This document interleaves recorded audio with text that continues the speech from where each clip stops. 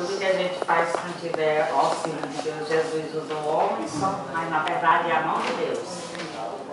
Que acha? Pois é, então nós vamos dar as mãos, né? Você pode também, por favor.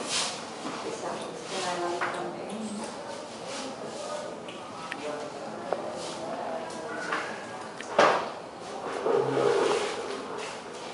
Senhora, a senhora pode também dar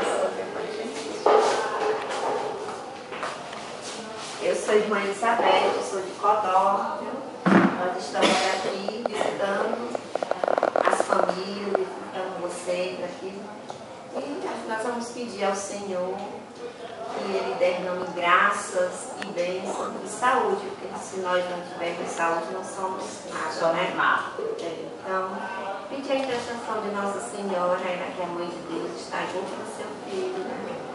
pedindo graças né, por todas as famílias, por todas as pessoas que estão aqui à procura da saúde. A gente vê que muitas pessoas aí estão tirando suas vidas, né? E outras pessoas correndo atrás Atrás de salvar sal- salvar vida, vidas, né? E que Deus possa, possa não, porque Deus tudo pode, né? Tudo pode, né? Que restabeleça a saúde de vocês, vocês se recuperem o mais rápido possível, que vocês possam voltar para o meio, as suas casas, as suas famílias. E nós vamos rezar a oração do Pai Nosso, que é uma oração universal, que foi o próprio Cristo que nos ensinou, né? E é uma oração muito forte. Pai nosso que estais no céu, santificado seja vosso nome.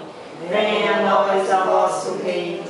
Seja feita a vossa vontade, assim na terra como no céu. O pão nosso de cada dia nos dai hoje.